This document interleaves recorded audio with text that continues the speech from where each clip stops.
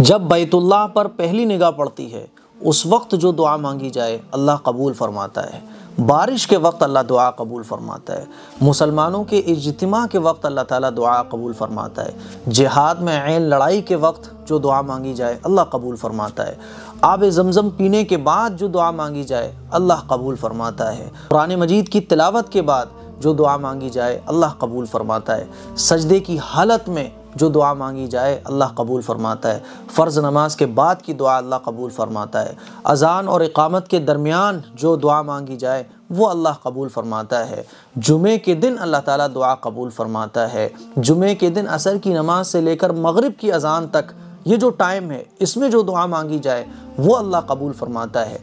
आधी रात के बाद से लेकर सुबह सादिक तक जो दुआ मांगी जाए, वो अल्लाह ताला कबूल फरमाता है।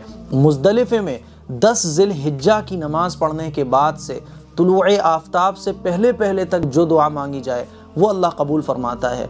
अरफे के दिन की दुआ अल्लाह ताला कबूल फरमाता है। रमज़ान मुबारक के महीने में दिन और रात में जो दुआ मांगी जाए, वो अल्लाह कबूल फरमाता है। ईद की रात की दुआ अल्लाह कबूल फरमाता है। शब कदर की दुआ अल्लाह ताला कबूल फरमाता है। इसी तरह से इफ़ार के वक्त की दुआ अल्लाह कबूल फरमाता है। रोज़े की हालत में जो दुआ मांगी जाए, वो अल्लाह कबूल फरमाता है।